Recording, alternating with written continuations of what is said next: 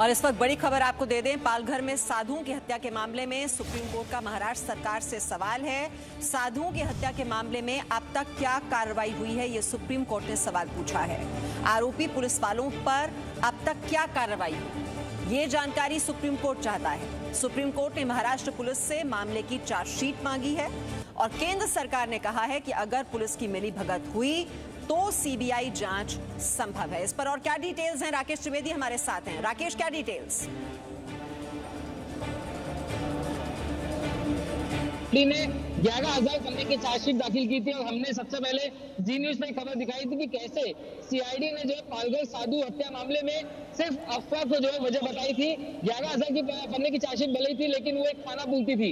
ऐसे में supreme court ने महाराष्ट्र सरकार से पूछा कि आखिर आपने उन पुलिस अधिकारियों के खिलाफ क्या कार्रवाई की, जिन्होंने इन दो साधुओं को भीड़ को सौंप दिया था। सीआईडी ने जो तकरीबन डेढ़ सौ लोगों के खिलाफ मामला दर्ज किया था, उन्हें गिरफ़्तार किया था। लेकिन पुलिस के खिलाफ क्या कार्रवाई की गई थी, वो इस बात नहीं बताई गई थी। और यही वजह की सुप्रीम कोर्ट ने महाराष्ट्र सरकार से इसका जवाब मांगा है। इतना ही नहीं, ये बात भी सुप्रीम कोर्ट को बताई गई है कि महाराष्ट्र सरकार जो अपना जवाब भेजेगी, साथ ही साथ अपनी जो चार्जशीट की कॉपी है, उसे वो सुप्रीम कोर्ट में जमा करवाना होगा, जिसकी स्क्रूटिनी की जाएगी। और इस स्क्रूटिनी में अगर महाराष्ट्र पुलिस की कोई लापरवाही पाई जाती है तो निश्चित तौर पर यह मामला भी सीबीआई को सौंपा जा सकता है।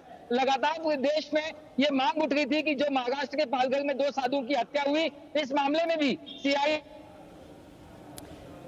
जी, बहुत ही अहम है कि इस पूरे मामले को बहुत ही गंभीरता से सुप्रीम कोर्ट ने लिया है और आरोपी पुलिस वालों पर अब तक क्या कार्रवाई हुई है, ये सवाल सुप्रीम कोर्ट ने पूछा है। सीबीआई जाँच की मांग इस मामले में भी होती रही है और अगर कोई लापरवाही पाई जाती है तो इस मामले में भी सीबीआई जाँच की जो है, वो ज़रूर यहाँ पर इजाज़त दी जा सकती है, वो संभव है। Presenting news app available on Google Play and app store downloaded now